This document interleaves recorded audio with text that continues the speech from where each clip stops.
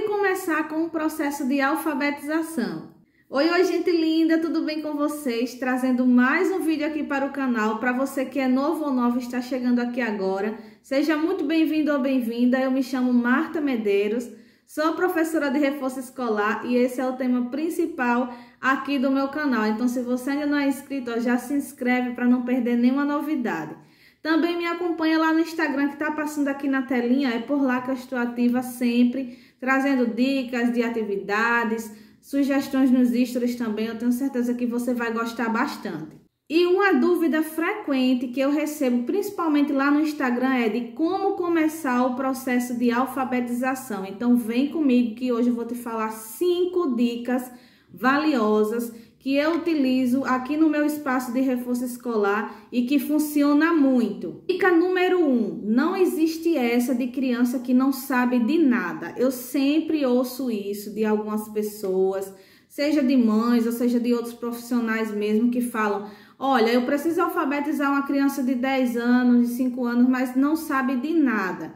Gente, não existe isso. Né? Todas as crianças elas já possuem né, seus conhecimentos prévios antes mesmo de ir à escola. Pode ser que essa criança ainda não reconheça as letras, não reconheça todos os números, dentre outras habilidades, mas com certeza tem muitas outras que ela já sabe, já domina. Então é importante você sempre observar isso. Cada criança possui o seu ritmo, possui suas particularidades e isso sempre precisa ser respeitado. É algo de extrema importância. Passo número 2. Para você saber em que nível de aprendizagem a criança se encontra, é essencial você realizar atividades diagnósticas. Essas sugestões de atividades, elas podem identificar se a criança reconhece as letras do alfabeto, se ela reconhece os números pelo menos de 1 a 10, se sabe diferenciar letras de números, inicial, letra final,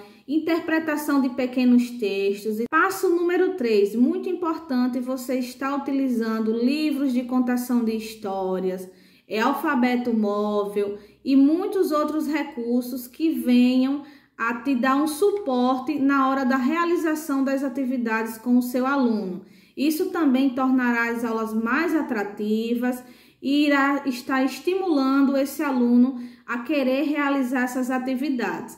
Tenha também em seu espaço, né, onde você ensina, tanto para sua criança quanto para o seu aluno, banners, é, outros recursos visuais que venham deixar esse ambiente mais didático. Os quatro tipos de letras do nosso alfabeto, com as sílabas complexas, tudo isso irá facilitar também no momento em que você estiver alfabetizando essa criança. Passo número 4. Busque sempre cada vez mais conhecimento né, nessa área de alfabetização, porque como eu já falei aqui para vocês, é um processo complexo, exige muitas estratégias e quanto mais você dominar sobre esse tema, mais facilidade você terá para estar ajudando aí ao seu aluno ou à sua criança. Eu sugiro demais para vocês esse livro aqui, ó, do Alfaletrar, que é da Magda Soares.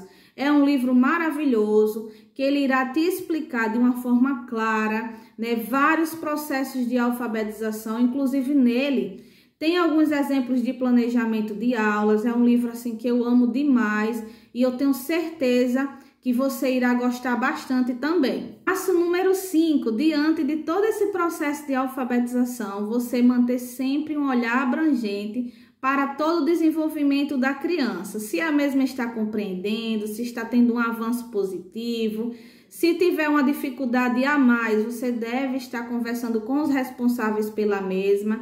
Lembrando que professor de reforço escolar e professor de sala de aula regular no ambiente ali da escola não pode dar laudo nenhum se não tiver uma formação específica naquela área. Então, o que você pode estar fazendo é direcionamentos né, para a família ou para o responsável para buscar uma ajuda mais especializada e assim estar ajudando ainda mais essa criança. E se caso você desejar adquirir esse arquivo, né, com essas atividades diagnósticas que eu elaborei para trabalhar aqui no meu espaço de reforço escolar, dá uma olhadinha no link da descrição, tá bom? Para estar adquirindo o seu. Tenho certeza que vai te ajudar bastante.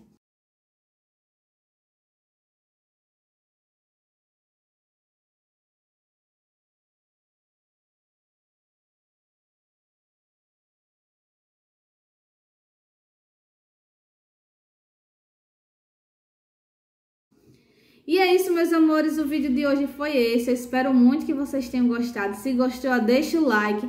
Se inscreve aqui no canal, compartilha esse vídeo com alguém que você tem certeza que vai gostar bastante, pois isso me ajuda muito.